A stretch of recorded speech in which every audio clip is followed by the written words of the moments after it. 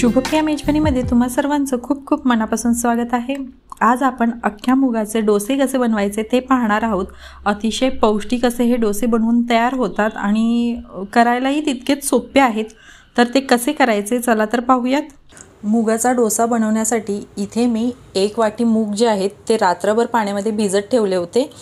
तुम्ही रात्रभर ठेवू शकता किंवा कमीत कमी पाच ते सहा तास जरी भिजवले तरीही चालतील.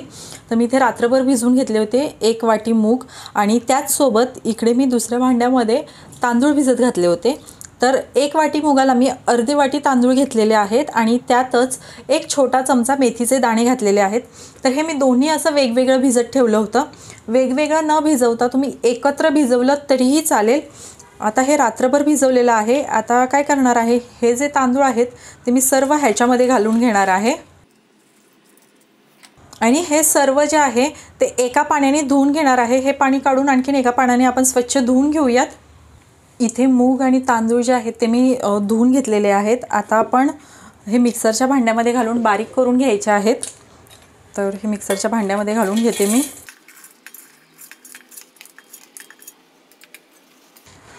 आता हे हे मिक्सरच्या भांड्यात घातलेलं आहे. ह्यातच मी एक दहा बारा कडीपत्त्याची पानं घालत आहे.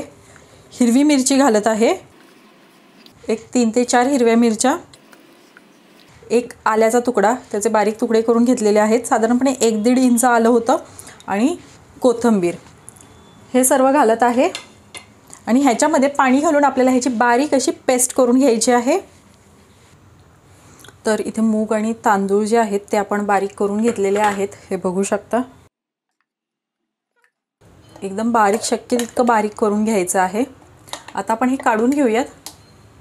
इथे मूग आणि तांदूळ जे आपण बारीक करून घेतले होते ते बघा अशा पद्धतीचं बॅटर आपण बनवून घेतलेलं आहे. जास्त एकदम पातळ पण करू नका आणि जास्त घट्ट पण ठेवू नका. अशा पद्धतीचं आपल्याला ठेवायचं आहे. गरज वाटली तर आपण एखादा डोसा घातल्यानंतर थोडंसं पाणी ॲडजस्ट करू शकतो जर घट्ट वाटलं तर. पण आधीच जास्त पाणी घालू नका. आता ह्याच्यामध्ये आपण चवीप्रमाणे मीठ घालणार आहोत. आणि हे मिक्स करून घेऊयात. डोसा बनवण्यासाठी गॅसवर मी एक तवा गरम करायला ठेवलेला आहे आणि गॅस जो आहे तो पूर्णपणे बारीक आहे. आणि गॅस आपल्याला डोस्यासाठी जा अगदी जास्त तापवून घेण्याचाच गरज नाही. थोडासा गरम झाला की ह्याला आपण तेल लावून घेऊयात. तवा जास्त तापून देऊ नका. तवा जर जास्त तापला तर डोसा जो आहे तो व्यवस्थित आपल्याला पसरवता येत नाही. त्यामुळे जास्त तापून नाही द्यायचा. आणि तेल लावून झाल्यानंतर एका टिश्यू पेपरच्या सहाय्याने आपण हे पुन्हा अशा पद्धतीने पुसून घेणार आहोत. म्हणजे काय होतं जास्तीचं जे तेल असेल ते निघून जातं. आता तवा गरम आहे एकदम जास्त पण नाही. आता ह्याच्यावर आपण हे डोशाचं बॅटर जे आहे ते घालणार आहोत. आणि हे पसरवून घ्यायचं आहे डोसा आपल्याला.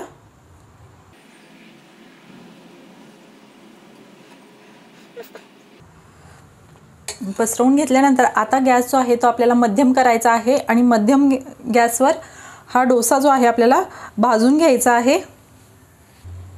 डोसा जो आहे तो वरच्या बाजूने व्यवस्थित ड्राय झाला की आपण ह्याच्यावर तेल सोडणार आहोत. तर इथे तुम्ही तेल किंवा बटर तूप जे काही तुम्हाला वापरायचं असेल तर ते तुम्ही इथे सोडू शकता. ह्याच्यावर थोडासा ड्राय झाला की आणि हळूहळू जसा हा डोसा भाजला जाईल तर तो साईडून असा मोकळा होत जातो हे बघू शकता.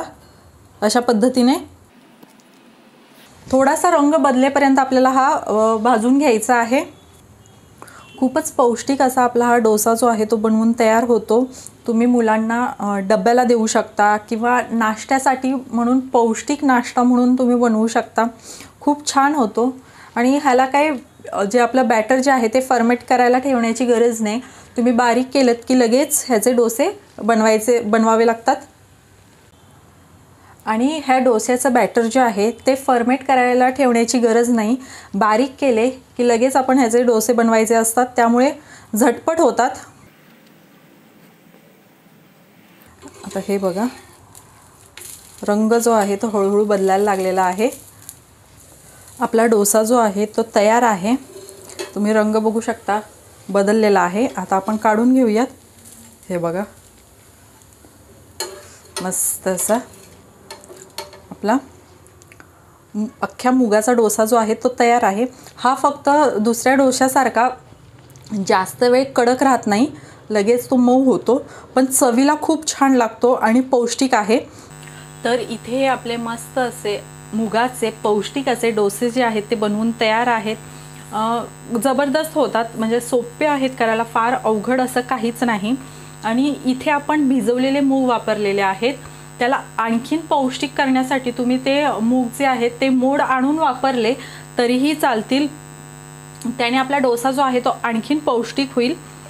तर तुम्हीही अशा पद्धतीने डोसा जर कधी बनवला नसेल तर एकदा तरी बनवून नक्की बघा. खूप छान होतो. तुम्हालाही आवडेल. तर तुम्हाला आजची रेसिपी कशी वाटली हे कमेंटमध्ये नक्की सांगा. आवडली असेल तर लाईक करा शेअर करा आणि अजूनही जर तुम्ही आपलं चॅनल सबस्क्राईब केलं नसेल तर नक्की सबस्क्राईब करा. पुन्हा भेटूयात अशाच एखाद्या छानशा रेसिपीसोबत तोपर्यंत बाय